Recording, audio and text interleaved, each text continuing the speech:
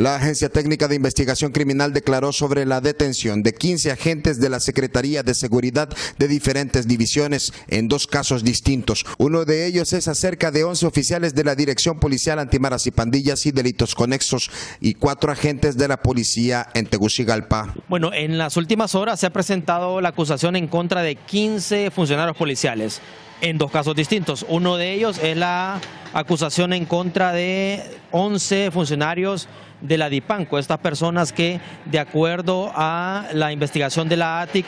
han incurrido en al menos ocho delitos y que por los cuales ya están guardando prisión, es decir, ya tienen la detención judicial, delitos relacionados a allanamientos ilegales, a tortura, asociación para delinquir, asimismo también privación ilegal de libertad entre otros delitos por los cuales se les ha acusado en una investigación que se ha comprobado que hicieron un allanamiento ilegal, le robaron las pertenencias a, unos ciudadanos filipinos y posteriormente presentaron un eh, informe de investigación falso al Ministerio Público para que presentara el caso a los juzgados. Los juzgados desestimaron este caso y más bien ordenaron la investigación en contra de estos 11 funcionarios policiales que ya están con detención judicial y este próximo lunes van a la audiencia inicial. En Tegucigalpa son otros cuatro funcionarios policiales a quienes se les vincula el delito de cohecho por, en este caso, haber eh, solicitado 10 mil empiras a un ciudadano luego de andarlo en la patrulla policial por espacio de unas cuatro horas. Llegaron a un cajero, retiraron estos 10 mil empiras y se los entregó.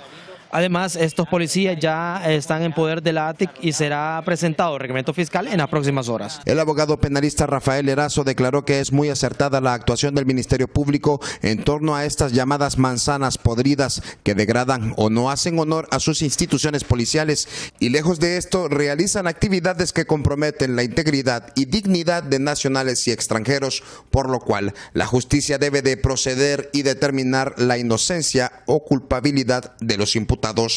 Tiene que enfrentar la justicia porque si ellos han cometido delitos graves, ¿verdad? Eh, contra unos ciudadanos hondureños, creo, en el año en el noviembre del año 2023, prácticamente pues se tiene que enfrentar la justicia en pues eh, ya ya han sido detenidos y por lo tanto pues tiene que eh, someterse a un proceso legal, tal como lo establece la ley. Los agentes identificados como Érico Marandino Martínez y Emerson Antonio Flores Matamoros son acusados del delito de cohecho propio, mientras los agentes de la Dirección Policial Antimaras y Pandillas contra el Crimen Organizado, Johnny Omar Raudales Núñez, Wilmer Joel López Gómez, Esdras Sadrat, Amaya Martínez, Eveli Dalian Criminio González, Elvin Antonio Ramos, Wilson Isaac Bonilla Hernández, Lener Gilberto Quintanilla, Berta Yanina Alemán Antunes, Neris Mejía Rodríguez y Fernando Josué Castellanos Canales son responsables de los delitos de allanamiento por funcionario público, robo con violencia e intimidación agravada, continuada, privación ilegal de la libertad, tortura, asociación para delinquir,